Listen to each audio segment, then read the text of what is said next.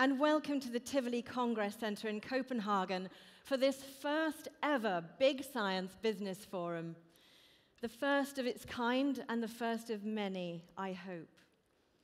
Now, this is called the Big Science Business Forum. But let's not be in any doubt about it. This is your forum, okay? This is your forum to learn about Europe's big science organizations' future investments and procurements worth more than 10 billion euros over the next five years. You can create opportunities to meet people from the nine organizing big science organizations and the nine affiliated big science organizations and their key suppliers as well. It's a brilliant chance for you to network with other like minded businesses and establish some long lasting relationships over today and tomorrow. And you can organize business to business meetings, business to customer meetings, and meet people in the open exhibition areas, which are to both sides and all around the inside and outside of this auditorium as well. I hope you also get a really good insight into how a business like yours can interplay with the big science market. Altogether, we're hoping to create a stronger, more transparent, and consolidated big science market in Europe for the benefit of everyone. Now, I'm Angela Lamont, your host for the next two days while you're here. I don't work for any of the 18 big science or affiliated big science organizations, and I don't tender for business from them either. Yet, I know quite a few of you, and I've been working in this industry for many years as a communicator, a science film producer, and a conference host. I'm also one of the five founding trustees of Lunar Mission One. So I'm here as your independent guide to guide you through the opportunities that are here for you over the next two days.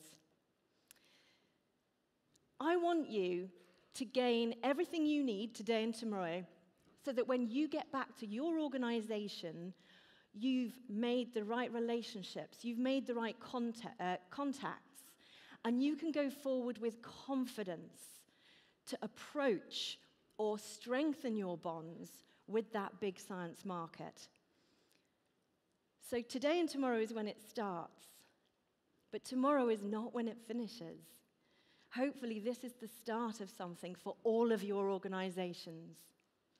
Now, it's really good to see that a thousand people have registered, many from Europe, but others from all over the world. And I look forward to meeting as many of you as I can over the next two days.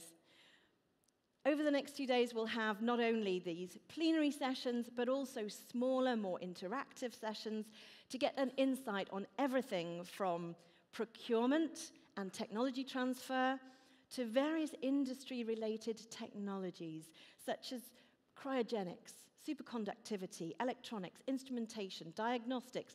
There are a lot. I'm sure you've seen them all in the program. And I hope you're looking forward to your more interactive sessions this afternoon and also two sessions tomorrow as well. You can also meet the nine affiliated big science organizations. And as I said, book those meetings or network informally over coffee. And I also hope you'll enjoy meeting each other at the gala dinner this evening. And I do hope you're coming to that. Altogether, I think this forum is an amazing place to meet up, learn, chat to people, and forge new relationships going forward.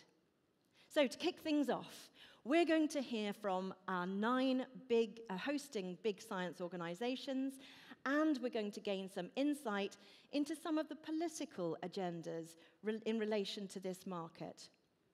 Now, just before we start, if you haven't already done so, this would be the perfect time to take out your phone and just switch it to silent.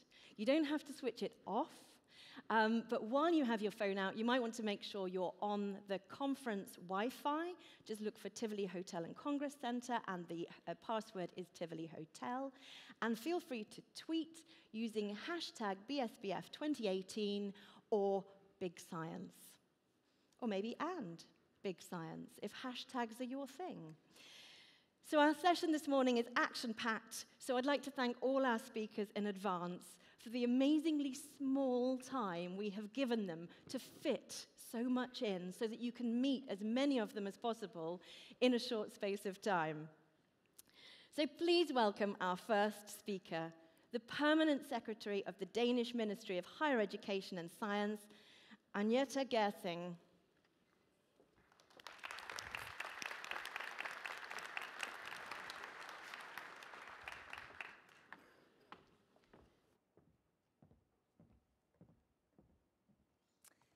Good morning, ladies and gentlemen. It's a great pleasure for me to welcome you all to this first ever Big Science Business Forum. I'm delighted to see so many of you here.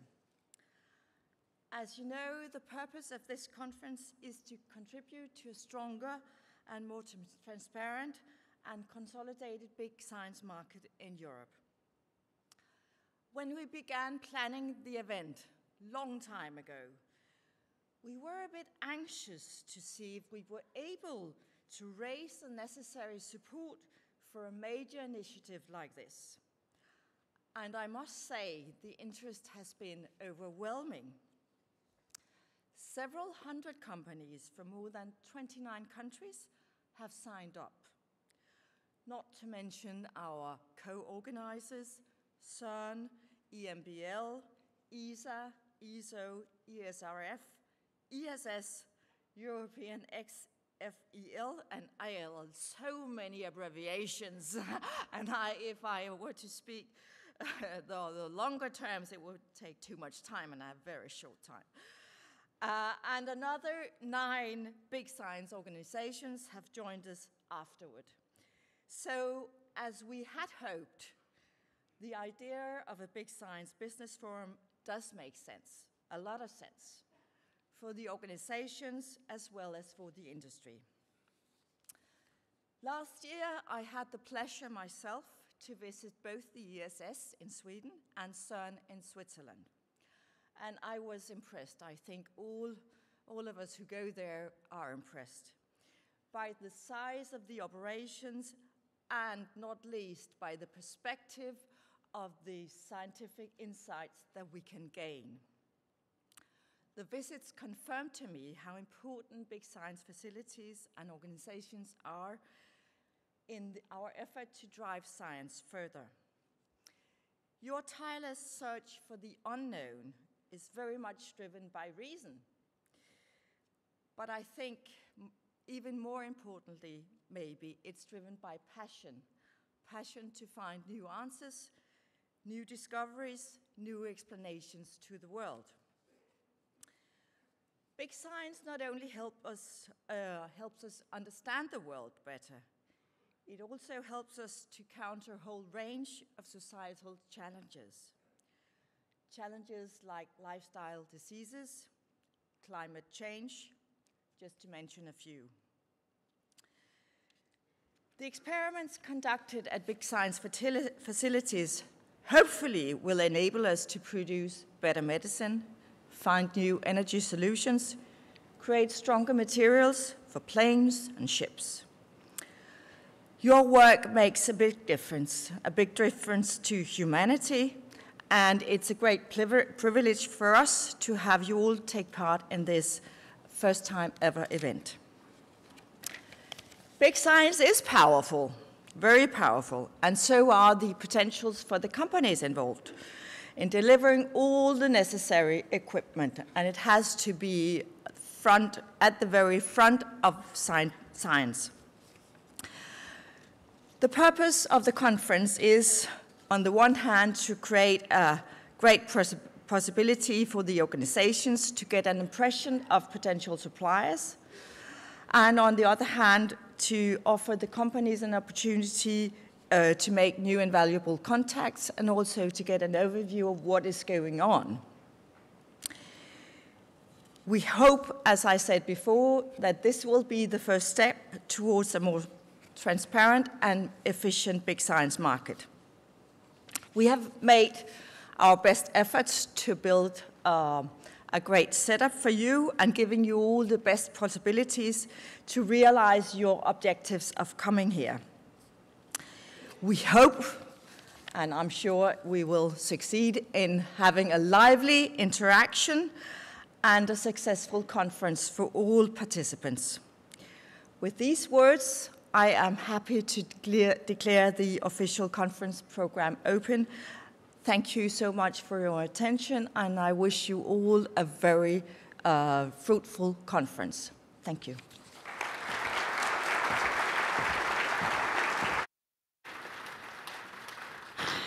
Thank you so much for that. And Agnete is right about the popularity of this thing. I don't know if you've seen the small amount of exhibition just around this room, but this is, is what they hoped that people would be interested in to take as an organization, to take a little exhibition space, to get to know people so that they could be there and meet people. This space sold out within minutes. I mean, seriously, this thing was like selling rock concert tickets.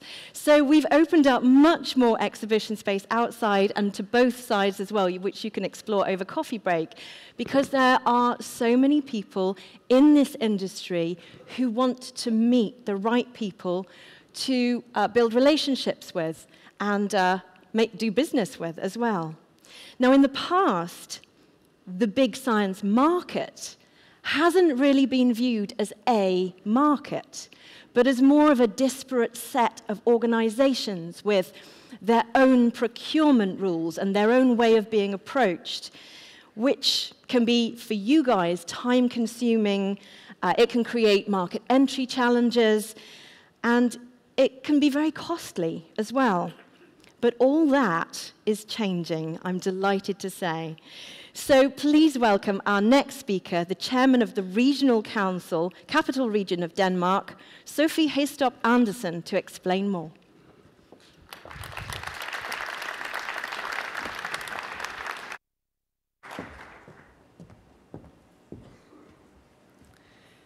Thank you for the invitation to come here today. It's an immense pleasure for me to be here today at the opening of the Big Science Forum the first conference of its kind in which a range of large-scale operations come together to present future construction projects. First and foremost, I'd like to say thank to the Danish Ministry of Higher Education and Science for their part in making this forum a reality. I would also like to thank all the participating large-scale facilities for coming up with the idea for this forum and going on and making it a reality. And last but not least, I want to thank all the participants for being here today. I hope that you come away from the conference with your expectations fulfilled. But I guess we have a, a responsibility all in all to do that. As I mentioned, and speakers before me have mentioned, this is the first conference of its kind in which a range of large-scale facilities come together to present future projects. A conference like this offers many uh, major benefits, evidenced by the fact that we have been able to bring so many people here together today. This is also the reason why the capital region of Denmark have contributed support in order to make the conference a reality. From my point of view, this conference has many goals. For the first, bringing about greater sharing of knowledge concerning procurement processes and regulations. Secondly, the creation of a forum for focused communication concerning future supplier projects. And thirdly, uh, the formation of a network across suppliers and research institutions throughout Europe, to list just a few of the few benefits which come to mind. I am sure there, is, there are many more. I hope that the Big Science, big, big Science Business Forum concept will live in the coming years, resulting in many future conferences across Europe. Let's be honest. Competition in the global market is becoming fiercer these years. And therefore, it's also vital to think big and pull together. Similarly, at a regional level, we are experiencing uh, tough competition from other metropolises. Just two days ago, I think a lot of us witnessed the closure of the Winter Olympics where we saw how South Korea and China showed off their own focus on technology and technology uh, projects and how they want to go on showing the world what they can do. But this is why we need to get together. For this reason, two Danish regions and one Swedish region, together with 79 municipalities in eastern Denmark and southern Sweden, have joined forces to develop the Greater Copenhagen, a common brand. Our vision for Greater Copenhagen, a place with 4 million inhabitants, is, among other things, to form a common region crossing national borders and municipal boundaries, a single combined labor market for all citizens in the region, and last but not least, a joint research region.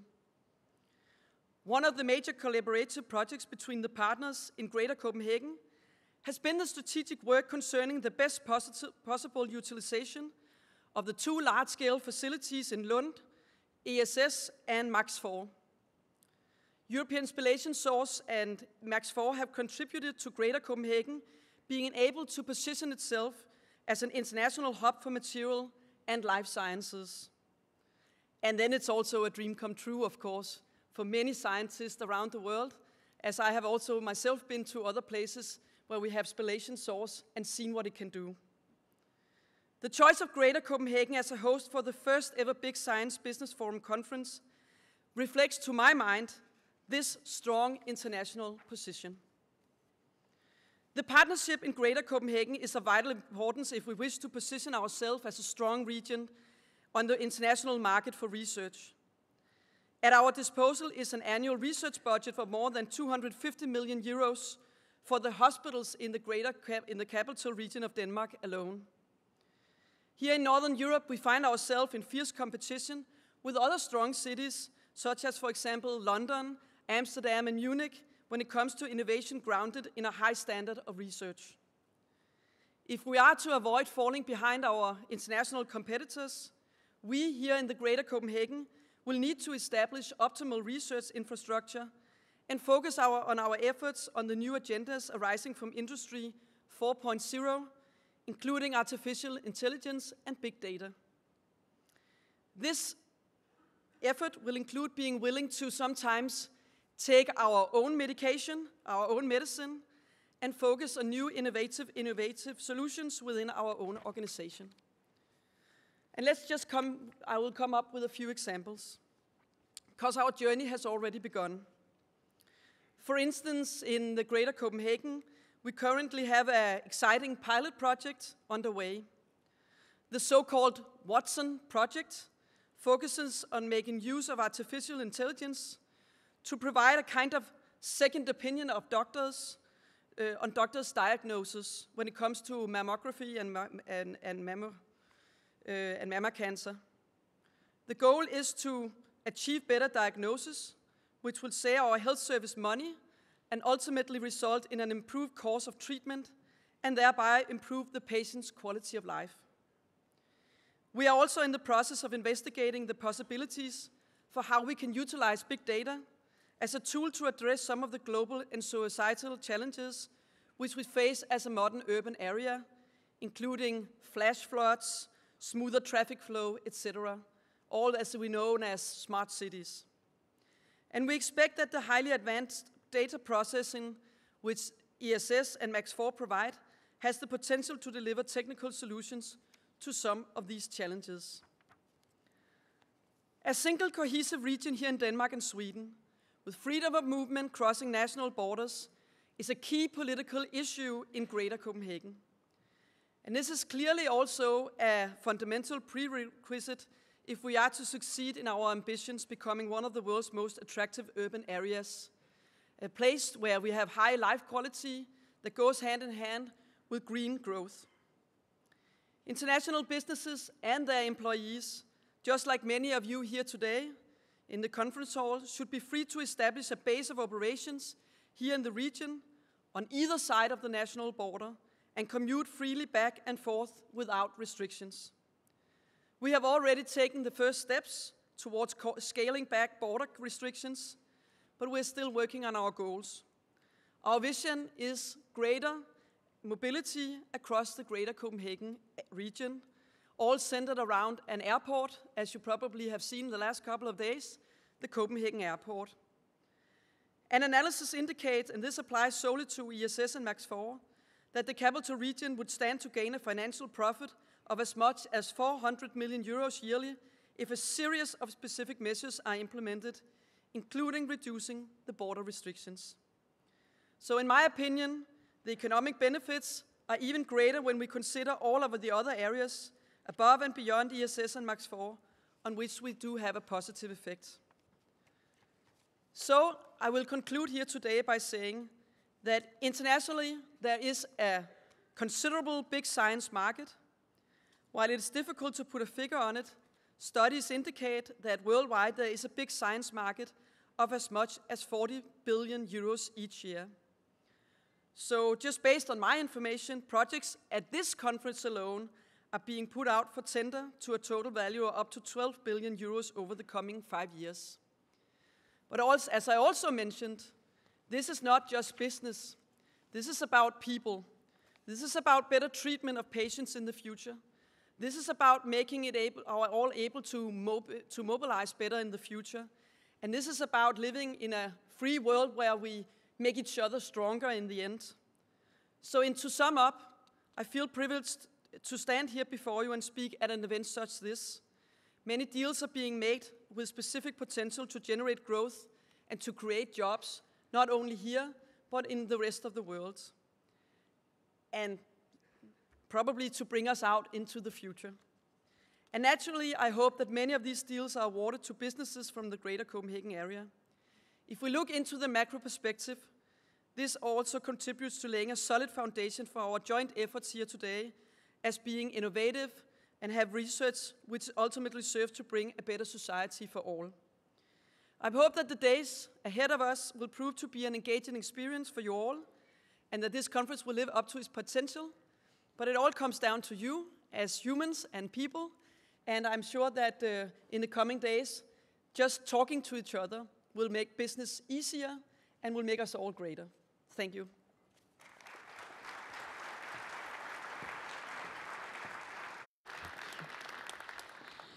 Thank you very much, Sophie. I wish you well with your plans. And if this is part of the medicine you mentioned, then I feel your patient will be feeling very healthy very soon. So now let's hear from the first of our big science organizations. Please welcome the Director of Accelerators and Technology at CERN, Fréderick Bordry.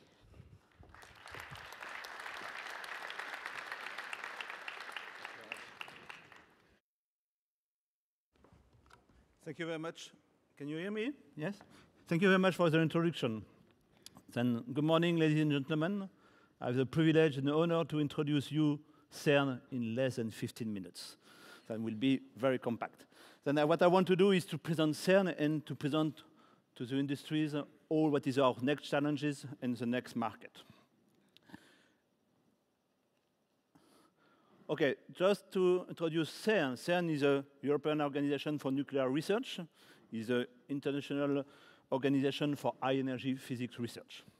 Founded in 1954, I will call a lot of time Science for Peace. I will add Science for Peace and Development.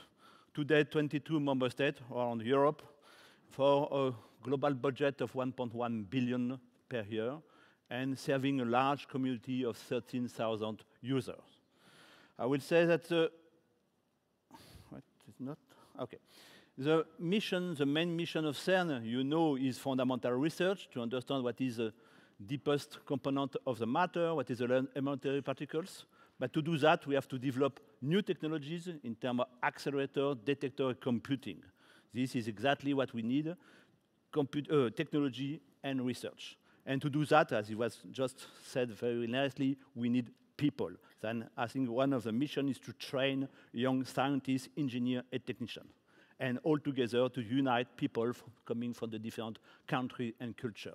This you cannot do physics, you cannot do technology without uh, human persons. High energy physics from the beginning is international by nature. Science have no borders.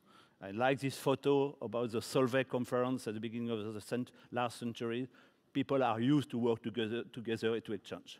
But also in terms of means, by necessity, now to develop large instrument of physics, we have to pull together all these uh, uh, resources. And I think you can see on this plot the different evolution of the big accelerator in the world with uh, one order of magnitude of energy every 10 years. And this it was really a progress, and I can, say it will be uh, shown during this uh, conference. Superconductivity is one of the ingredients of the new progress for accelerator, magnets, RF cavities, and so on. Then you will see and can see around a lot around superconductivity in cryogenics. LHC, Large Hadron Collider, our flagship uh, accelerator, 27 kilometers. I think it's a long adventure in technology, but also in human. I think you can say it was, oh, sorry. Okay. It was 10 years of R&D. This is a long process, 10 years of R&D. After that, CERN approval is 10 years of development with a, a lot of uh, con industrial contract is installation, then it's 25 years before the, the first ID and to start operation of the machine. And now it's 25 years of exploitation. So now we are in full physics with LHC, and we will have a project I will introduce very soon, what we call HL LHC, high luminosity LHC. I have no time to describe, but LHC is really the domain of the engineer, the domain pushing all the technology to, to, to, to, to, to the limits all the technology made about magnets, cryogenics, vacuum, power conversions, mechanical things. We are really in the domain of electrical engineering, electrical mechanics, and so on. I like to say that ideas are individuals. I show you the two papers from Peter Higgs and uh, François Englert and, and Brout. It's two papers, very sh short ideas. But after that, you need uh, really 50 years of development innovation for a lot of engineers, scientists, and industry to produce large, large detectors and large accelerator and computing, and to give, after 50 years, Nobel Prize to these people that had this small paper with ideas. I think this now we cannot do without a collective innovation. I would say now the standard model is very nice. We are very happy. But when you are looking at that, it explains only 4% of the mass of the universe. Then suddenly we are very humble, and now we have to do more and more collision to try to have rare process and to look at what it is, the 96% of, of the missing mass of the universe. I think this is very important, and now I think we can say that the graal of the physicists will be to understand what could be a particle of dark matters. Then I think dark matters, and there is a graal to that. Then we have in front of us a lot of discovery to do in physics. To do that, we have to use the LHC, and we have a project, high luminosity uh, uh, LHC, but it is now to change 1.2 kilometers of the machine with new technology to be able to squeeze more the beam and to produce more collision in the two big experiments, ATLAS and CMS. Then this is a, an important project with completely new technology of magnets, passing from niobium titanium to niobium lutetium, having new RF cavities, original crab cavities, I will not have time to describe, but the specialist knows, collimation, about cryogenics and so on. Then it is really the domain of pushing the technologies. In terms of planning, now we are in 2018, and all the installation of this project will be done during 24, 25, and to restart this machine in 26. And this, now we are starting the construction phase of this uh, project. This is a project with a cost to completion close to 1 billion of Swiss francs, 950. Then we will spend this money. You have here the profile of the spending of this money during the, the following years. And you can see we are between 100 and 120 million per year of spending and opportunity for the industry. Exactly that, I think uh, uh, now we are in the phase, uh, said, uh, starting the construction. Now we are an R&D phase. And I think it's very important to have a mutual understanding between CERN, the engineer uh, working in the different domain, the industry. And I think this uh, kind of event, business forum, is very important for the two parts. For CERN to understand the know-how and capability of industry, and to push us to better specification our product, and for industry to understand the needs and uh, what, what, how they can answer to our, our call for tender. Then I think for me, I can see uh, the, the, table on, on, on, the top, it will be a good opportunity for mutual understanding, uh, different things, to have a better uh, call for tender in the future. what we want to give to you uh, in terms of industry is to have a timely information on requirement and schedule. And we want to have a clear list of our needs. Then if you have one thing to remember of my presentation is this link here where we have all the description of what we will need in the following years.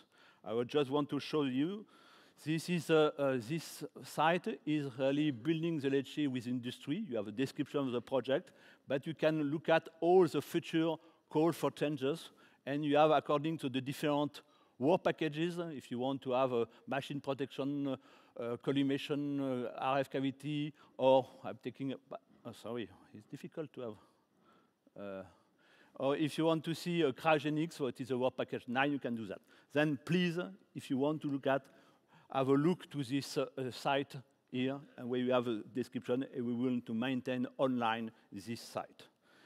Sales is not only uh, HL-LHC, because we have a budget, and we have a budget to do maintenance of our installation, to have a small other project. You can see on this graph that what is was the spending in terms of supply and service in 2016 in the different domain coming from civil engineering, building, uh, about uh, uh, vacuum, and, and, so on. And these things, and you have also several opportunity uh, at CERN out uh, the energy. Knowing that in the future, the main spending will be with the HiLumi project. Saying that, also, we have to look at what could be the post-LHC machine. And at CERN today, we have two studies. First is a linear colliders, what we call CLIC. Could be initially 11 kilometers and going up to 50 kilometers is a study. We will decide later, our member state will decide later what to do. And another study is to look at a future circular collider with a major development of 16 Tesla magnet, double of the field of the existing magnets, and going up to uh, 100 kilometers to do collision to higher uh, uh, energy. This is a study, but I think also we are developing, pushing the technology, some opportunity for industry to be part from the beginning to the new uh, technologies. I will conclude, then I think for me, cooperation with industry is essential at the beginning of the project. We have really, we have a project, and I think it's very good to have this, uh, all the organization. We have project where we are pushing technology. It's one-off. What is difficult is not a recurrent market, but I think it's an interesting that we explain what we want to do, you understand, and you can program the things. Uh, I'm convinced that in industry will have a, a crucial role and will be involved from the beginning. We are involving industry from the beginning for, to a HL-LHC project. And I, am convinced that working together will be opportunity for both sides. And saying that, uh, I want to say also we are working for HL-LHC, but also is a roadmap towards what could be a post-LHC machine. And I will conclude my talk with this quote from Bernard Houssay, was Nobel Prize in Medicine, there is no applied science if there is no science to apply. I think we are working for fundamental research, but we are developing technologies that could be applied later in the different domains and transferred to the society. Thank you very much for your attention.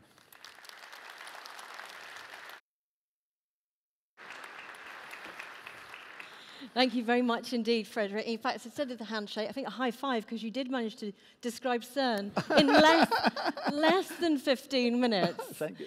Thank you very much indeed.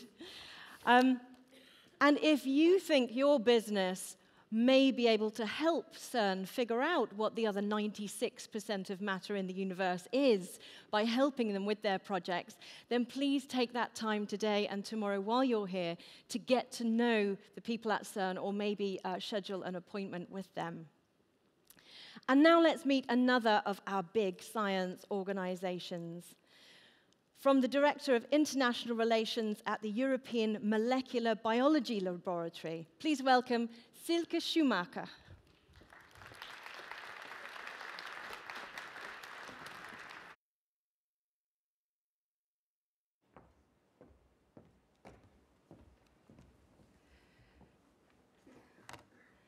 So, good morning, um, dear Permanent Secretary, dear Chairman of the Regional Council, dear representatives of the European Big Science Organizations, dear business representatives. It is a pleasure for me to be here today and to introduce uh, EMBL, the European Molecular Biology Laboratory, to you at this uh, Europe's uh, largest big science uh, business forum. I uh, heard that there are more registrations than uh, uh, more than a thousand uh, participants in this forum, and I think this uh, is a great success. And I hope that uh, over the course of the next days, we will make the best out of this. So, um, for those who are unfamiliar with um, EMBL, I don't know how to operate this. The green, mhm, okay. The big green, okay. now I go back, sorry. So EMBL um, was founded uh, 40 years ago as an intergovernmental organization, and um, it has today an annual budget of 230 million and about 50 million of this is competitive research funding from Europe and beyond. We have 24 member states, and the five uh, cornerstones of our mission are to perform excellent research, to train scientists at all levels, to offer vital scientific services to scientists in our member states, to develop new instruments and methods, and to actively engage in technology transfer and to integrate European um, life science research. Research at EMBL is conducted by over 80 independent groups covering the whole spectrum of molecular biology, including computational biology, bioinformatics, and systems biology. In addition to pursuing cutting edge research of the highest quality, EMBL also provides the world's largest open biological data repositories for research and industry. These repositories receive 27 million web hits per day. In terms of staff and locations, we are distributed um, across um, six sites and have 1,600 staff in total. The main laboratory is located in Heidelberg in Germany, and there are sites in Grenoble, France, in Hamburg, in Rome, in Hinxton in the UK, and we opened six sites in Barcelona a uh, little less than a year ago in Spain. EMBL is also a founding member of EIROforum, and um, this is an organization that brings together uh, the eight uh, largest European intergovernmental research organizations that are shown on the slide, and all of them are represented here today. We are currently um, chairing EIROforum, and um, um, there is uh, a lot of uh, interactions uh, within EIROforum also to encourage uh, industry engagement. In terms of EMBL's industry engagement, um, we have uh, a number of uh, different aspects, uh, institutional interactions, and uh, two of those I would explain in a little bit more detail. One is the EMBL EBI industry program, and the other is uh, Open Targets, a large-scale multi-year public-private partnership in which we collaborate with the Wellcome Trust Sanger Institute and the um, pharmaceutical industry. The EMBL EBI industry program was launched already in 1996 and it provides a globally unique forum for interaction and knowledge exchange for corporate partners. These companies are working at the forefront of industrial bioinformatics and are making significant use of the data and resources provided by EMBL EBI as a core part of their global R&D programs. Member companies in the program represent most of the top 20 pharmaceutical companies in the world, as well as several major agri-food, nutrition, and healthcare companies.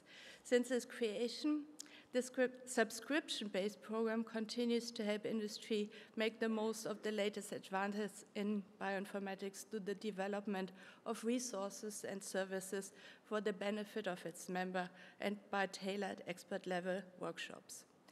Whereas the industry program is already established as part of EMBL, the Open Targets um, partnership is a more recent edition of our institutional industry interactions.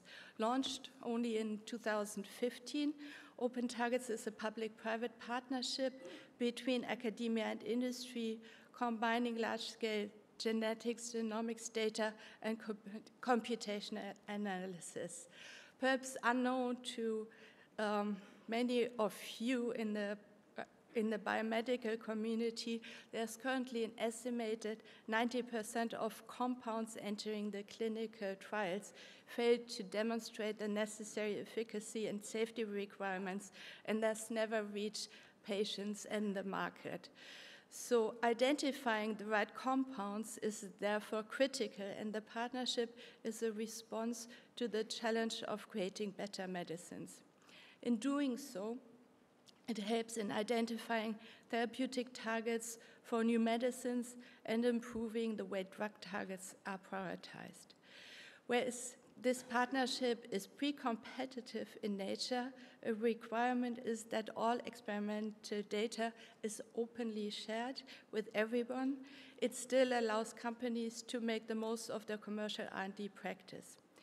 It should thus not come as a surprise to you that GlaxoSmithKline a pharmaceutical company, and Biogen, one of the world's oldest biotechnology companies, joined this partnership with EMBL and the Wellcome Trust Sanger Institute. Last year, we were also able to announce that Takeda, um, a global research and development uh, company based in Japan, joined um, the consortium. So, our investments in the next five years are spread across a number of business areas, such as light and electron microscopy, computing infrastructure for IT services, beamline detectors, and instrumentation. In case you're interested in the upcoming tenders, I encourage you to contact the respective EMBL site directly to be included in future tenders.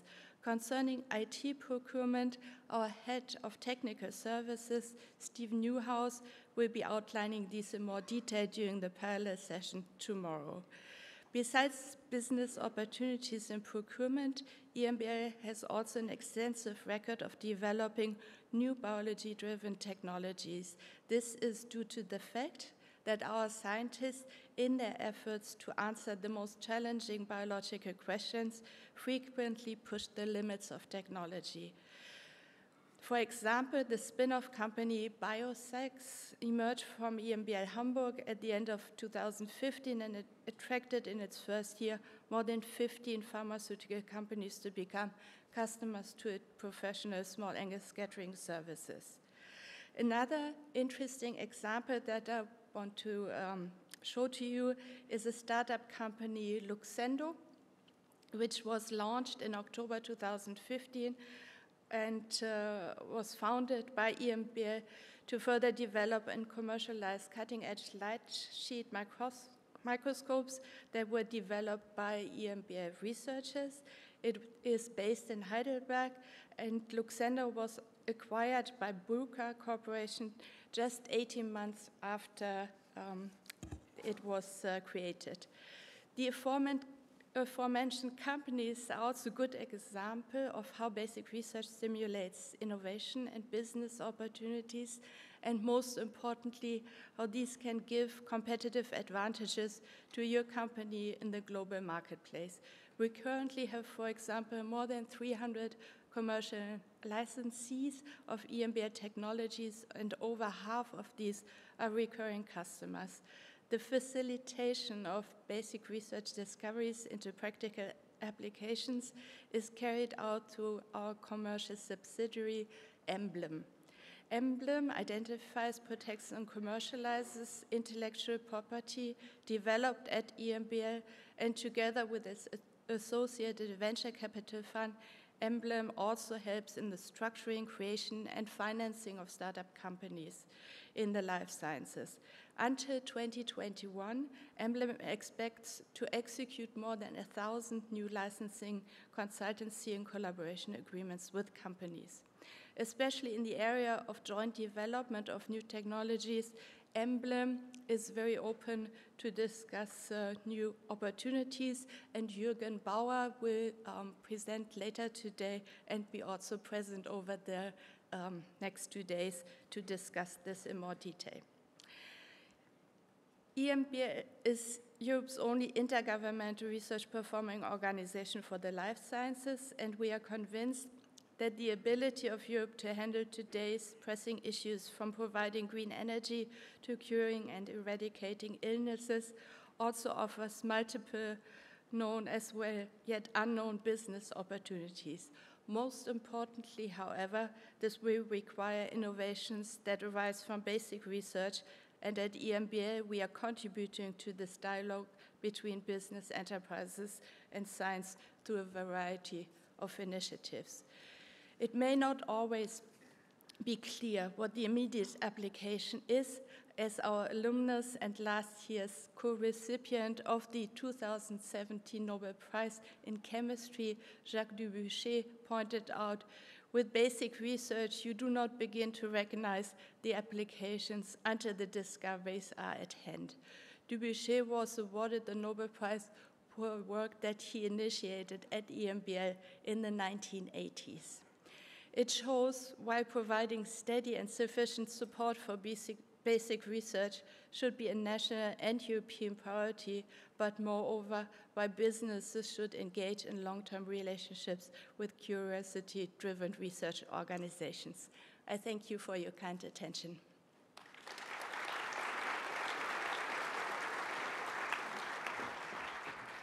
Thank you so much, Silke, for joining us and for pointing out that not everything happens overnight, as I'm sure you're more, more than aware of. Now, our next speaker asked me to introduce him as just that guy from ESA, Jan, in order to save time. So that tells you a little about him already, but just in case you haven't met him, I do feel I should introduce you by your full title. The Director General of the European Space Agency, Jan Wörner. Thank you very much. Yes, uh, good morning, everybody, and for me it's a very special pleasure to be here and talk about ESA. First of all, what we are tackling are the so called global challenges. You might have your own priority list, so don't try to convince me that this is the wrong list. There is no numbering. What is important is over here curiosity. Curiosity is even stronger than all of these other challenges, and we should accept that curiosity is the strongest driver of humans. And therefore, if you uh, forget about curiosity when you are talking about global challenges, you are forgetting about the most strong driver. So space is doing giving information, space is doing communication, is doing science, technology, education, and coming back to curiosity, inspiration. So this is really a very important message from my side for today's uh, conference. I'm talking always about space 4.0. Why that? We heard about industry 4.0. This is the industrial perspective. Space has also something like a fourth uh, dimension right now. We have a change of motivations. It's not the prestige of uh, big countries driving us. It is curiosity. It is different applications. We have different actors. More than 70 spacefaring nations worldwide. And industry and academia have their own space missions today. So it's a totally different uh, landscape. The content is changed. We will, you will see that in a minute. The roles are changing. Some of the space agencies are not uh, ready to that, but I tell you, a space agency of the past is not the same as a space agency of your future. And technologies. We have a lot of new technologies arising. We heard already about artificial intelligence. Uh, there is nanotubes, there is 3D printing, etc., etc.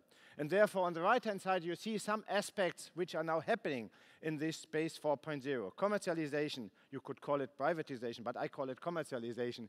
Spin in and spin off. Spin off is traditional.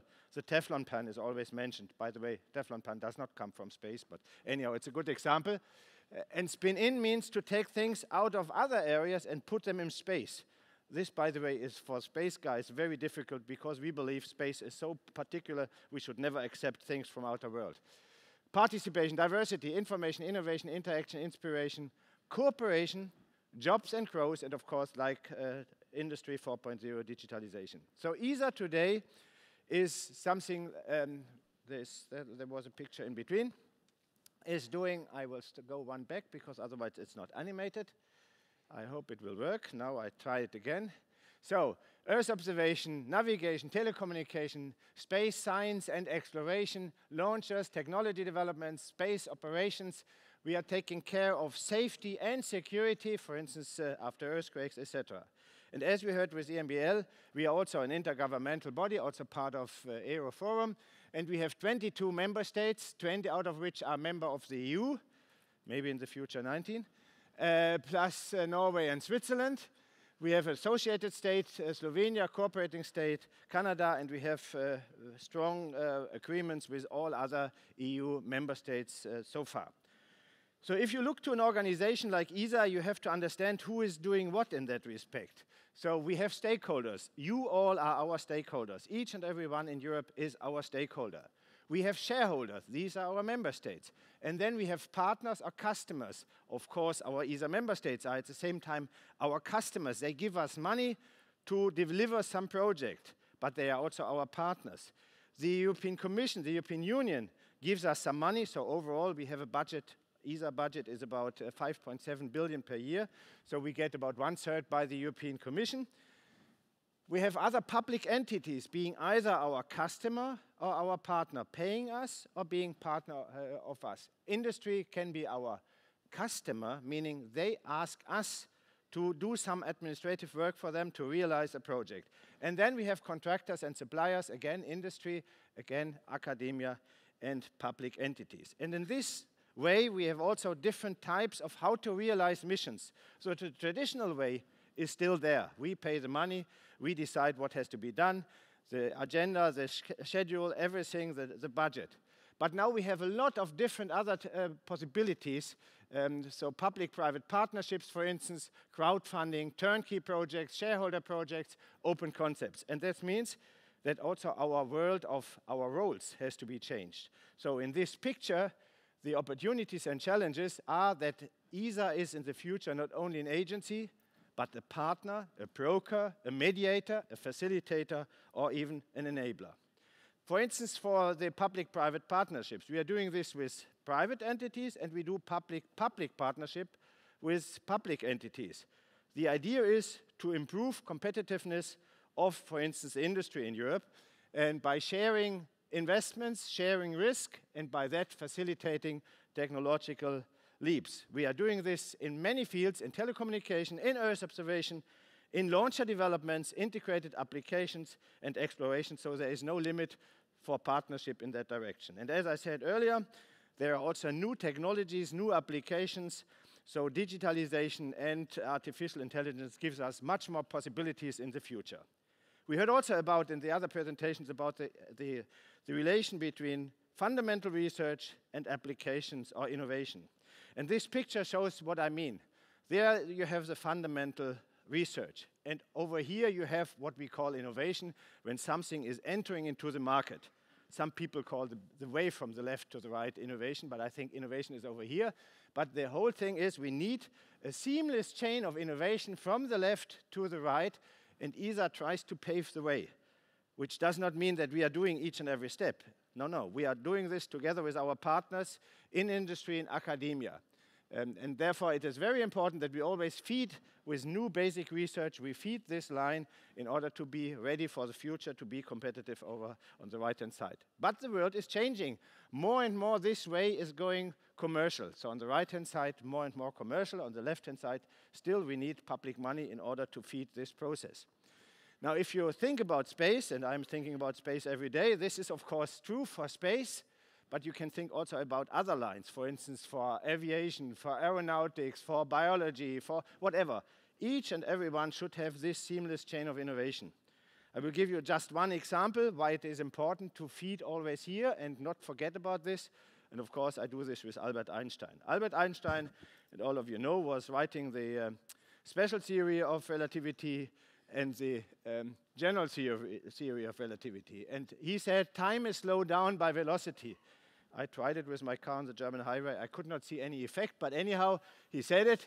And he said time is slowed down by gravity, also an effect which you cannot see directly. So, where is the return of investment? Where is the benefit for society? Why to pay for such a ridiculous study? 100 years, this was just some academic idea. But today, each of you are dependent on this theory of relativity. Why that? Because we have satellite navigation. In satellite navigation, we have the satellites far away from the Earth, so the gravity is rather small. So therefore, the second sentence is valid. And the satellites are very fast, so therefore the first sentence uh, is valid and these two effects do not compensate. And if we would not apply the theory of relativity of Albert Einstein, pure fundamental research, the error would be 500 meter in just one hour, and therefore it would be not, uh, worthless. So therefore, yes, fundamental research is necessary. Coming back to this picture, what is important is that we do not have just lines, just seamless chains of innovations, but also seamless grid. So to cross-fertilize let's say here there's a space, and then we go to some other areas and come to a project. I will give you also an example for that. Rosetta, the uh, tiny uh, spacecraft flying to the uh, comet Churyumov-Gerasimenko, a pure scientific mission, that was the idea, purely scientific. It had on board a camera for making pictures of the comet. Comets are as dark as charcoal, so you could say it is, uh, let's say, very dark, ultra dark, very gray, ultra gray, whatever you say, at least more than 50 shades of gray. So this is a comet then. And so this camera could just make a difference between the different shades of gray. And then somebody was saying, okay, why not using this camera on Earth and producing a camera to um, have early forest fire detection by looking over the forest, and if something gray comes out, the camera can decide whether it's vapor or whether it's, for instance, smoke from a fire. So there is this relation between space and other areas and other areas and space. So what we have, we have different instruments in this line, normal instruments like cooperating with industry, but now we introduce some new, uh, this is one is ESA Lab, which means together with uh, academic institutions, with university, to have a partnership to work together. To, we give all our data, all our technology free of charge to them so they can use it, and uh, we are partnering in universities or academic institutions. Then we have the business incubation centers. Um, we have now them in many, many of our member states, and last year we had by that 150 new companies uh, incubated. Overall, we have more than 500. And uh, especially for the non-space sector, we have now a new instrument, which is ESA Grand Challenge, which can be used. So we are doing also science. We're doing different types of science. One science is, of course, uh, space science, uh, together with our partners, looking to dark universe. You heard about dark matter, dark energy. This is uh, one part of it. We are going to go to uh, Mercury uh, this uh, year, so it's a very fascinating mission. I will not go into detail.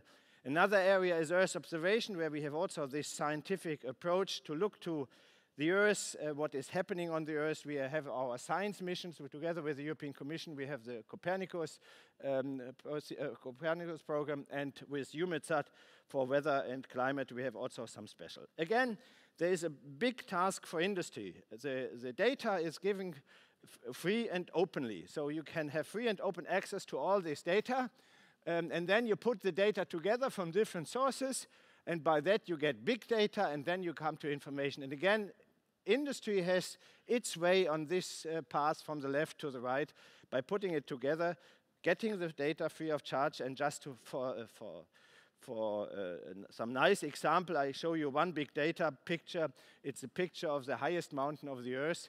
uh, the Mauna Kea in Hawaii, you cannot have a picture of that mountain just by one camera because it's partly under the water. So by using the different sensors under the water, and in this case a radar picture from uh, the uh, mountain above, you can have really a picture which you cannot see before. So big data means to see something you cannot see by just looking to the individual data. You have to add them. Another example for big data is this one for climate change. Uh, we are looking with different satellites over a long period, which you cannot do with ju just one satellite, about the sea level rise. And there's a nice quote from John Kerry, and I will uh, quote this quote because he said, Now I know there are still a few who insist that climate change is one big hoax, even a political conspiracy. My friends, these people are so out of touch with science that they believe rising sea levels don't matter because, in their view, the extra water is just going to spill out of the sides of a flat Earth. I think this puts it very nicely together. so, also, navigation, as I said, and I hope all of you have already uh, mo mobile phones using uh, Galileo and not any longer this American type of uh, navigation. I don't, I forgot about the name. So today's today's smartphones can use already Galileo, so you can use it, and it's three times better than the American system. So please be proud of uh, Europe and use it. Another aspect is the exploration. Exploration is always seen to be nothing for industry. Yeah? That's just the, the agency is doing something. Uh, but if you look to the International Space Station, which is uh, the Americans, the Russians, the Japanese, the Europeans, and Can Canada together, we are now opening this also this uh, International Space Station for industrial experiments. So whenever you would like to do an experiment on the space station, come to us. We are opening the doors. So if you have ice cubes, so these are not the CubeSats, but the same format, 10 centimeters, one, two, three, you can uh, have them together then for a low price of 50,000 K, we will send them to the, to the International Space Station and bring them back. If you are from an academic institution, I have a special price for you, 35,000 euros only. And then you can do whatever you like uh, over there uh, in the space station. I mentioned open concepts. This is a totally new way of how to cooperate with uh, industry and with other entities. It is a new way without exchanging exchange of money or with contracts. It's just working together, and this is something we are doing in the future. So, as I said, our uh, our ex, um, our exploration program is uh, low Earth orbit, Moon, and Mars. We are going on Moon right now. We are there already with a trace gas orbiter, looking whether there is something like gas of uh, bio, bio uh, sources in the atmosphere and we will be there in 2020 again, drilling two meter deep in the crust of Mars to see whether there's something like life, because Mars had a better atmosphere in the past than it has today. So it is something uh, we can do. Now we are here in Europe. We are discussing about Europe all the time. I mentioned already uh, one of our uh, European uh, member states. Um, the question is, where is Europe going in the future? This is a picture of Europe from space, and it's very nice because it's borderless. There is no, no border seen. Uh, you see Belgium, they have too much money for their highways. Uh, and you see also some clouds above UK. Uh, but the, the, all the other things is fine, and therefore I'm not talking about United States of Europe, I'm talking about United Space in Europe. This is what we can do, and therefore this is European spirit. European astronaut, this is not a Danish astronaut. It's a European astronaut with a Danish accent, and uh, Andreas is a very nice guy. And just to show you what we can do with European spirit is this picture from the French TV at prime time and this is a French uh, person, and this is not a French person. Uh, it's also not a French astronaut or a European astronaut with a French accent. It's a British uh, uh citizen, T Tim Peake, and for more than 10 minutes there was an interview, and I think this is something we can really do by putting together Europe in a new way. Together with the European Union, we are also def we, de we defined overarching goals. I will not go into detail, but just that you know we have common goals so therefore, it's very important. And in the center, you see a full, globally competitive European space sector. This is what we like to have. And therefore, we have our partners in the different uh, areas with clear contracts. And uh, all of this is really uh, doing a great job for us. And therefore, I believe that we can really stand on that and go forward. Now, I was talking about the chain of innovation. I was talking about, I was not talking about, about the value chain, which all of you, especially industrialists, know, but there is a third type of chain I would like you not to forget. And this is my last message. This is the chain of motivation. Nearly all of you, I hope, who, who knows about, you have ever heard about Rosetta and Churyumov-Gerasimenko? Can you raise your hand? So nearly all of you, that's very fine. So this was, as I said, a purely scientific mission, purely scientific. And people were looking to it and were surprised. How is it possible I mean, it took 20 years. It took us 20 years to bring the spacecraft over there. 10 years of preparation, 10 years of flight, 20 years. And I'm sure all of you heard about it the last uh, one, one, or two years only of this uh, very fine trip. So what do we learn from this example? When you saw it, you were, hopefully you were surprised and say, how is it possible to land after 10 years on a tiny comet? You were fascinated, hopefully. I hope you were fascinated. Fascinated in a human body is a very important step because if you are fascinated, you might have you might reach the next step, being inspired. Being inspired by what you were seeing. Some dream was realized. If this happens with you, you are close to the third step, and this is the most important one, and this means you are motivated. Motivated that you can have a dream and the dream can be fulfilled. It doesn't mean the dream in space. Of course, I'm, I'm a believer of space, but if you have this dream in other areas, it's fine. And I think, therefore, we have a political message from this conference that science can do this work by fascinating, inspiring, and motivating. And then science is more than just the playing field of uh, some uh, scientists here or there. Then it's, it has a societal message. That means for me, for space, of course, space is a global enabler. We are expanding the frontiers of knowledge. We, are, we give information to politicians to use it, or other decision makers. For instance, also industry is now using space data to define where they should put their headquarters in the future. So therefore, it's assisting decision and policymakers in the different sectorial policies. It is enabling entrepreneurship and growth. It is bridging earthly crisis. We are working together right now with Russia, with United States of America, with Japan, and um, with Canada in the International Space Station. Also, we have the Crimea conflict. We have some nice missions together with the Chinese, of, uh, even there is some political uh, difficulty. So therefore, it means space can really work beyond and above earthly borders. And it is informing to raise awareness, for instance, about climate change and all of this. And for those who always need this calculation on money, I'm there. It says 10 minutes 11. Is it wrong? I, according to this, I still have some time, but maybe it's wrong.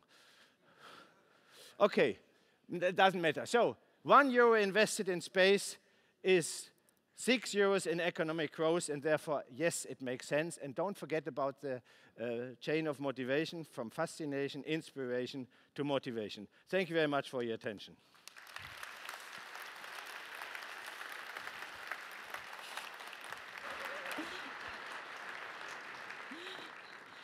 I didn't want to have to bundle the Director General of ESA off the stage. Thank you very much to that guy, Jan from ESA.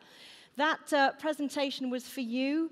If you've ever wondered how many shades of grey there were in a comet, or if you thought that ESA was just about space, um, I hope that's filled in a lot of the blanks, and uh, I hope to hear more later. Now, our next big science organization is the European Southern Observatory. And here to tell you more about it is their Director General, Xavier Barcons.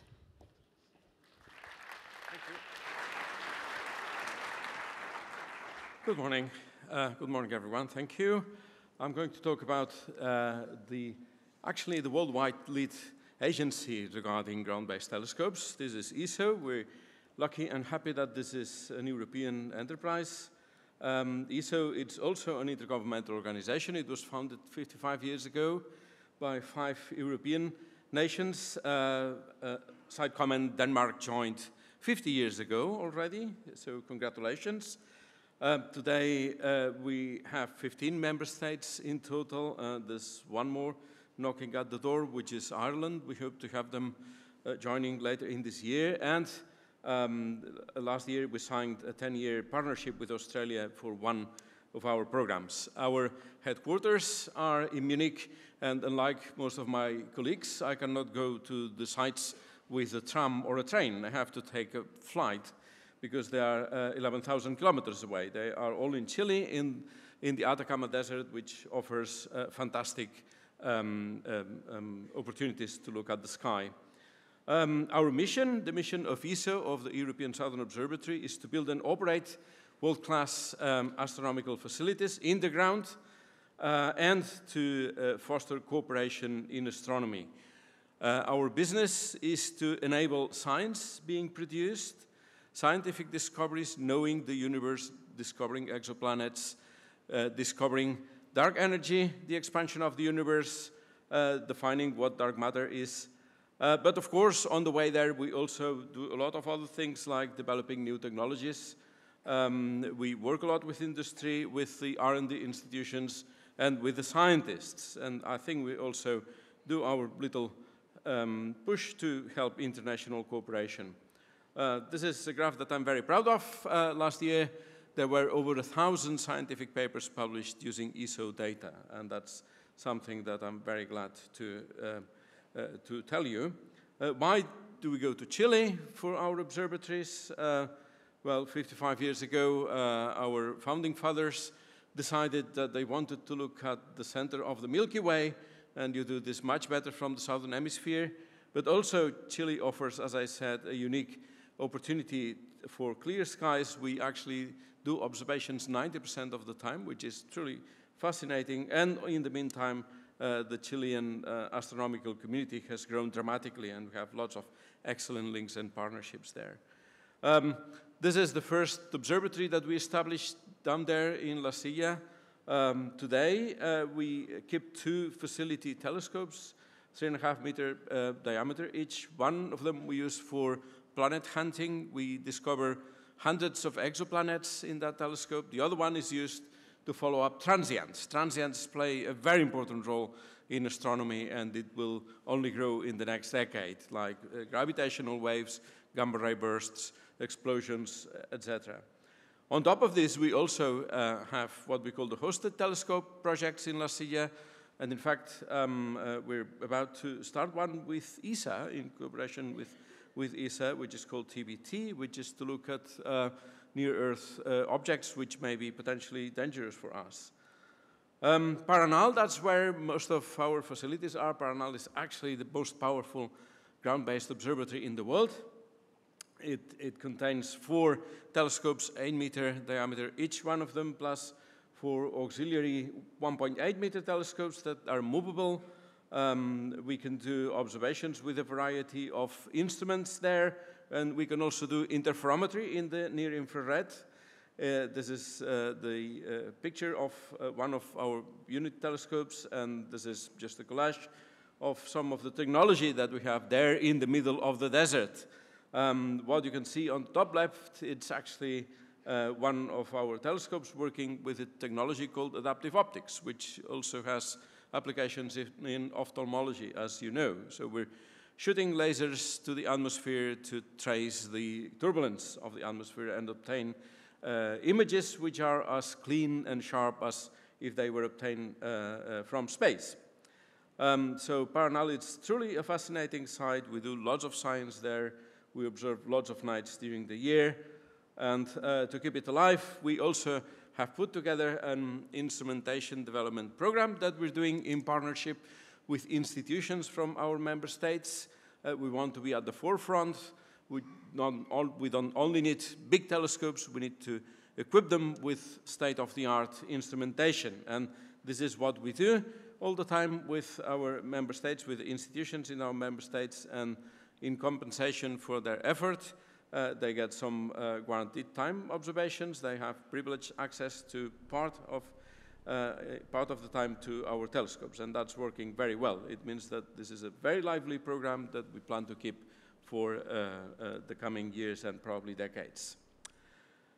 In a different site, also in uh, northern Chile, we have our radio facilities, and APEX is one of them. It's a single antenna called the Atacama Pathfinder experiment that we operate in a partnership with uh, the Max Planck Gesellschaft and the Onsala uh, Observatory.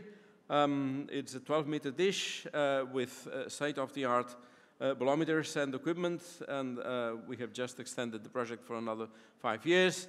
And uh, there's also uh, a lot of uh, novel instrument uh, development, including, well, some of them using very novel technologies like kinetic induc inductance um, um, sensors. ALMA, this is a unique worldwide facility that we own and operate together with our partners in North America and East, and East Asia. It's a very large uh, submillimeter radio interferometer. It contains 66 antennas. They are at 5,000 uh, meters altitude in the Chajnantor Plateau. We need to go high because we um, want to see the submillimeter waves coming from uh, outer space, and for that we need to uh, get out of the water vapor that it's in the atmosphere. Um, uh, there's 66 of those antennas that we can move from one place to another over this plateau which is uh, 16 kilometers in diameter. And uh, we also have the brain of the interferometer up there, this uh, correlator, which is uh, a very powerful computer, uh, which is actually uh, correlating the signals from the 66 antennas and producing the data that astronomers use. Uh, we have uh, a base camp and an operations control facility at 3,000 meters, which is slightly more benign and this um, facility, which was inaugurated in 2013, it's producing fantastic science today, uh, looking at molecules and, and cold gas in space and the regions where planets are formed. Now, uh, who benefits from all this? It's the astronomers, the scientists in our member states. We receive every year uh, uh, sorry, every semester, 900 proposals for observations in our facilities, plus another 1,500 every year to use ALMA as well. Uh, those facilities are very heavily oversubscribed. We can only attend about one out of three or one out of four of those proposals, and we hope that we are selecting the best, thanks to the panels that we put together and uh, our, um, the number of users that we have into those facilities, it's about 4,000 at the moment. So we're serving a very large and lively and productive community. Now, this is our next project. This is what we are building now, uh, which is called the ESO Extremely Large Telescope. That will be the largest optical infrared telescope in the world. If you hear that there is another largest telescope uh, in the world coming up from the States, uh, they're wrong. Uh, ours is bigger and better. Um, it, uh, the primary mirror will uh, be 39 meters across. It will consist of 800 segments, about a meter and a half across, and it will not only be very large, but it will use adaptive optics as we're using with one of our VLT telescopes to correct for the um, turbulence in the atmosphere. So uh, it will collect a lot of light and produce very sharp images. It will be truly transformational. It will impact every corner of astronomy, uh, from exoplanets to the most distant galaxies. And it will be really a, a big um, a breakthrough in astronomy. Construction started in 2014. We have already built the road to the top of the mountain, which is uh, Armazones. This is only about 30 minutes drive from Paranal, where we have uh, a lot of logistics and, and, and uh, support for, for the ELT. And uh, the operations cost, uh, it's about 1.1 billion euros, maybe a bit, a bit more. Uh, this is an aerial picture um, where you can see Paranal uh, uh, down there and Armazones up.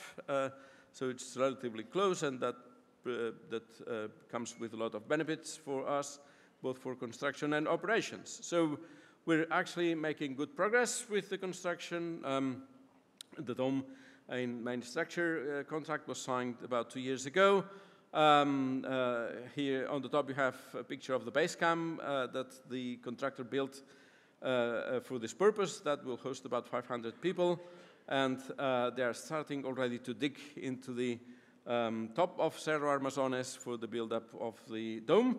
Uh, the telescope structure is under PDR at the moment, and on the optic side, we have already produced the first segments for the primary mirror, the first six segments uh, that have been produced already by um, a German company. Um, as we do with Paranal, we have also contracted with the institutes in our member states the instruments that will be put at the focus of this telescope, and there's a list of them, and uh, they uh, are already starting to go through preliminary design review and entering construction uh, in order to be finished for the next, um, uh, during the next years.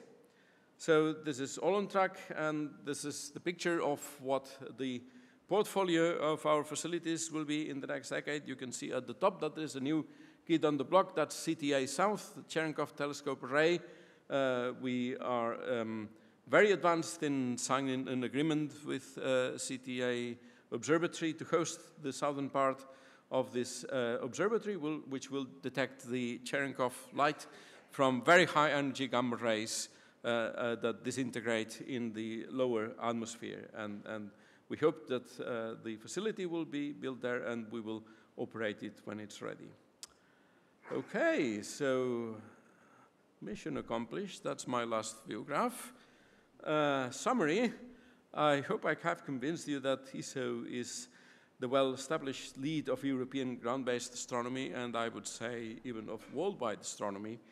Um, we have a multi-program mix of um, telescopes and observatories in operation, which provide the data for uh, the scientists today, but also uh, new construction, not only for the ELT, which is the largest uh, project that we've ever tackled, but also to keep our um, operating um, installations upgraded uh, with new instruments.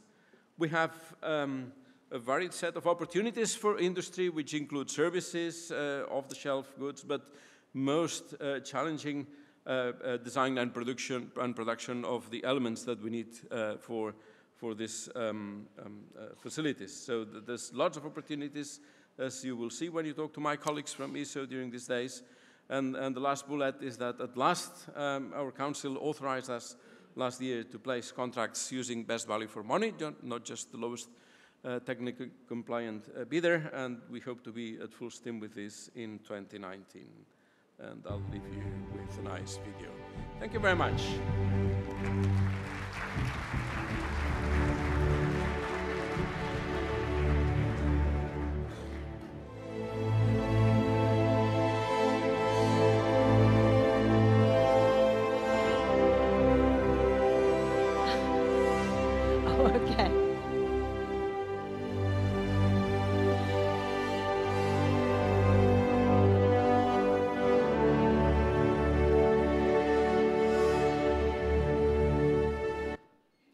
Oh, seems a shame to end it there, but end it I must, because Xavier tells me it's about five minutes long. So thank you very much indeed. Um, always appreciate hearing about the very large telescope. All best wishes for the extremely large telescope. Love the naming of these bits of kit, by the way. Um, within a few years, I'm expecting to hear plans about the really unbelievably huge telescope, perhaps, coming along soon. But it's a very impressive installation. I had the privilege of, of just spending a week on Mount Teide uh, in, in uh, Lanzarote, um, uh, sorry, Tenerife, very, very recently, and I thought that was a, a fantastic installation. But that is, is absolutely fabulous. So, if that has whet your appetite to get involved with projects such as that, then again, please do make contact. Now, talking of very large te telescopes and extremely large telescopes and sensible naming of things, I have the pleasure, before coffee, to introduce the Director General of Future Synchrotron Science and the extremely brilliant SOURCE program. I'm assuming that brilliant is a literal thing rather than a superlative thing, but perhaps it's both. Please welcome Francesco Sette.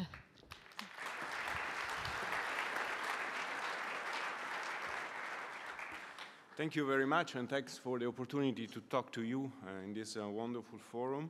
And after all these inspiring and motivating talks from these uh, wonderful opportunities for science that we have in Europe, but uh, also beyond Europe, inspiring all over the world.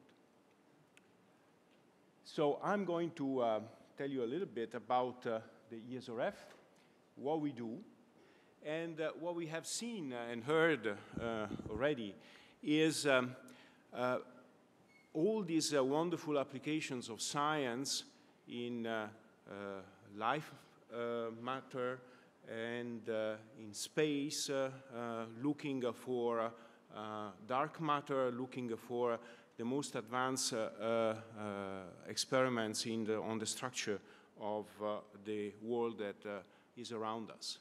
But at the end, um, this incredible human adventure that started two millions ago really started in asking ourselves what is what, what we see, what we hear, what we feel, all these materials around us and uh, this uh, incredible way in which atoms that uh, were discovered here less than a year, less than 100 years ago in this town of Copenhagen by Niels Bohr that uh, uh, uh, made what is the basis of quantum physics and showing that in fact the matters around us is completely empty.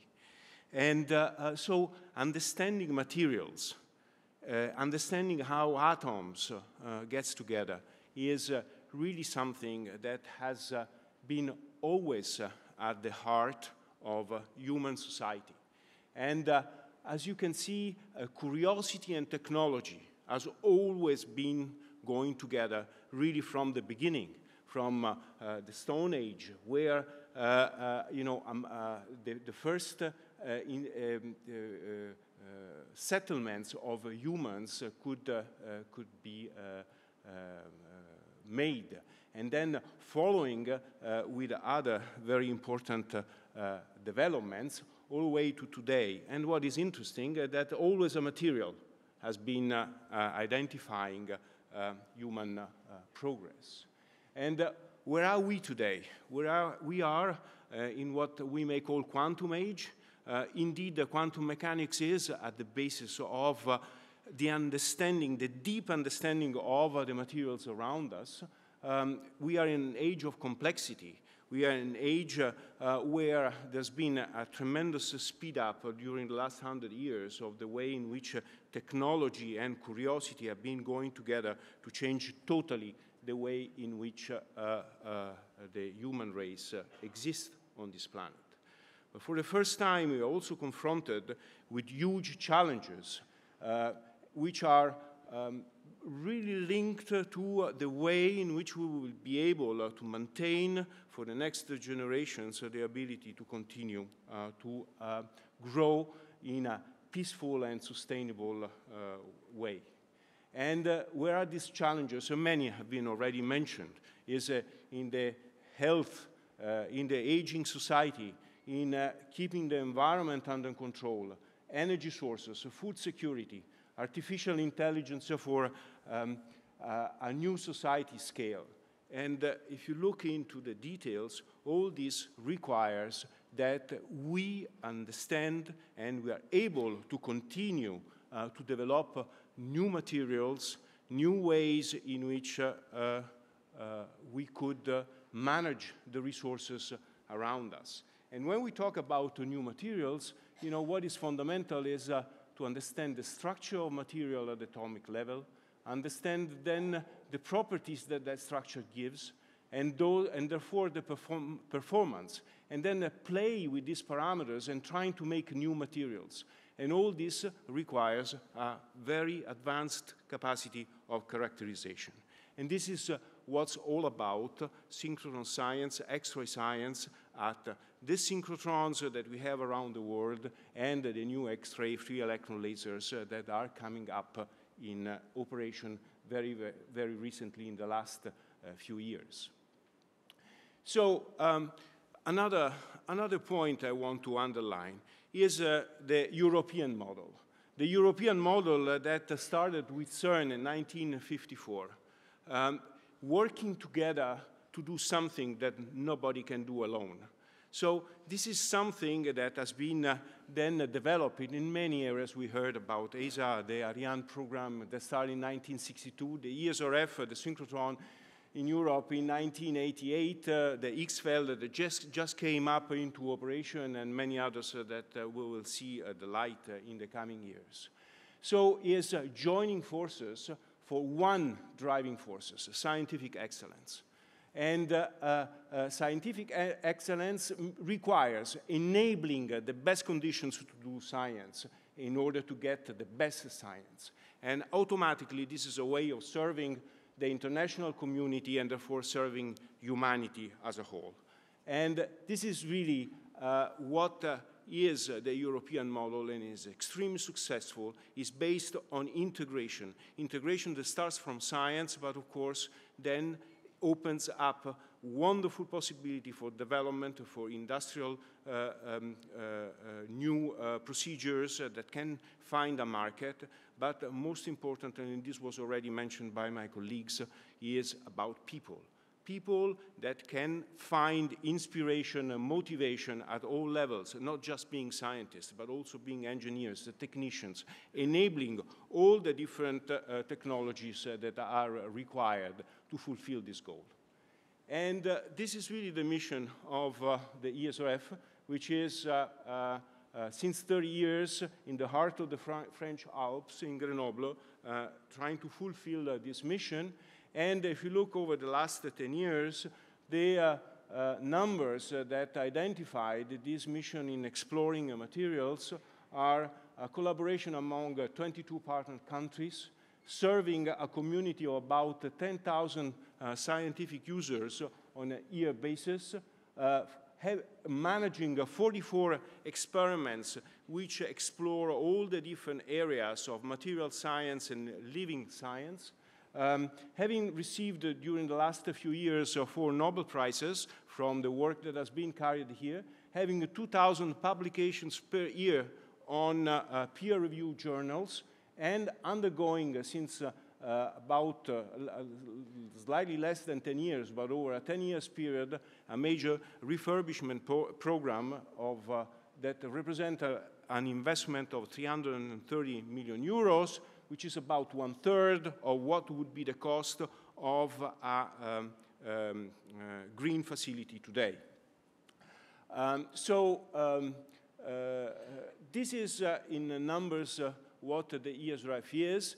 And if we look at the future, uh, and if we look at this extraordinary growth of synchrotron radiation science, this is uh, intimately linked to the um, advancement of technology and in particular accelerator technology, but not only accelerator technology, all the technologies that uh, allowed us uh, to uh, improve the quality of our source, which is measured in brilliance, which is uh, uh, explained here, number of photons per second, per uh, phase space, per millimeter square, milliradian squares within a certain wavelength. And you can see that compared to X-ray tubes, uh, we have today sources which are about 100 billions more powerful than uh, uh, X-ray uh, produced in a laboratory or in an hospital. And uh, we are in the process of pushing this frontier even by an extra two order of magnitudes with a new project which is based on a revolutionary lattice design this is a disruptive technology for accelerators. It is not uh, aiming uh, to uh, the same uh, uh, goals uh, that we have heard for LHC, which is pushing up the energy of the particles. Here, what we are pushing is the brilliance, meaning making as many photons as possible in a unit volume. And oh, with that is not just a disruptive accelerator technology, for example, for the first time using uh, uh, magnets based on permanent magnets or magnets with combined functions, so very, very extreme um, lattice design, but also um, having all the elements that are necessary to exploit these uh, new sources in terms of detectors, in terms of beam lines, in terms of uh, um, data infrastructure. Uh, just to mention that uh, uh, the inventor of this new lattice last year received the EPS Budker, Gersh Budker Prize, Pantaleo Raimondi, for, for the invention of this lattice that, as we will see, has uh, completely revolutionized the uh, present uh, international scenario of synchrotron radiation sources. If we look around, synchrotron radiation, we have about 30 sources that uh, are extremely powerful and extremely good around the world. Some of them came up over the last uh, 10 years. Uh, among them, the new X-ray free electron laser with LCLS in Stanford and uh, Fermi Trieste and also the flash that was really the pioneer in Hamburg and uh, uh, other very good storage ring like MAX4 and Solaris uh, that were built uh, developing and pushing to the limit the uh, technology of this existing new storage ring. But this also show you a very lively and very uh, followed uh, synchrotron radiation science scenario for the world. Uh, very recently, we have uh, enriched this uh, situation with two new X-ray free electron lasers, one at PSI in Switzerland and one in Hamburg, the XFEL that we will hear about in an hour or so. Um, and then in 2015, uh, the ESRF EBS project, uh, the one that I just mentioned before, uh, came up and was launched by the ESRF Council. And when we talk about inspiration and motivation, since 2015, the scenario has changed like this. Basically, every source worldwide uh, is uh, reflecting on how to update and upgrade their lattice to the new ESRF design. And this is again a wonderful demonstration on how European collaboration and putting all the best people together has been enabling a full revolution in the X-ray science field that we are going to witness in the next uh, 10 years. And to that purpose, at the European level, all the synchrotrons are trying to coordinate their effort in a, a league, which is called LEAPS, that will uh, enable us uh, this revolution to take place and to optimize all the required resources to carry it out. So this again shows how joining forces for one driving forces is at the basis of uh, this adventure for discovering material, which serves science, innovation, industry. And uh, if you just ask, uh, but what about the science? Yes, uh, the science enabled by these uh, new sources will be revolutionary. And just to um, give you a few examples, we will be able to look at very, very small crystals made out of protein and developing completely new procedures and protocols for the determination of structure in living matters. We will have a microscope using hard X-rays, which will be able to look into multi-dimensions, which is not just space, but is also stress, strain, absence or presence of impurities. All this will be done at the nano level, and this is something that no other technique today can accomplish with the non-destructive and penetration capacity of X-rays.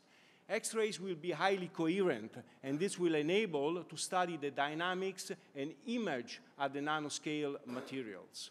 And finally, there will be the possibility of pushing uh, new techniques like uh, uh, field phase contrast uh, tomography uh, on very, very large object with a nanoscale 3D spatial resolution. In other words, we will be able to look at objects in, uh, which are very big with very high uh, resolution, meaning for the first time having imaging capaci capacity on a 10 to the 9 scale. This is something that, again, humankind has never been able uh, to do so far. And just again, for completeness. I'm very uh, proud also because I've seen uh, some pictures here in this forum of this instrument. So some of the companies uh, that were able to uh, uh build uh, and contribute to this revolutionary reconstruction of the ESRF are here represented in, in this forum. They, an instrument received another 2018 um, European Physics Society prize, the one of the condensed matter divisions, for the development of this technique uh, together with the Politecnico of uh, Milan. So, um, storage ring technologies, X-ray optics, uh, and uh, X-ray detection, uh, we will producing a petabyte uh, amount of data on a day scale uh, management and infrastructure of this data, nanomechanics, artificial intelligence in order to make all the different parts uh, required in experiment going from the accelerator, sorry, the, the, accelerator to the beamlines, to the data, to the optics, all these different elements will have to talk to each other and intelligently uh, optimize all the resources that are uh, required in this, in this experiment. So um, this is a, huge challenge from uh, the innovation and uh, um, um, uh, industrial development point of view, but it's also a huge opportunity. And in the frame of this opportunity, I also want to mention this initiative, Attract, in which many of the uh, previous speakers uh, institutions are directly involved and this is uh, an attempt that we are trying to carry out with the European Commission in order to find new ways to bring scientists and industry to work together to develop new opportunities and go really from open science to open innovation, building up uh, collaborations among uh, big science laboratories to create the opportunities for new products, the conception and venture capital for instruments that are necessary to push forward the science uh, endeavors, but at the same time will provide competitiveness and new competitiveness to European industry and uh, therefore bridge the gap between fundamental research and innovation, speed up breakthrough innovation, and foster EU competitiveness and job creations. And uh, with that, I uh, thank you for uh, your attention.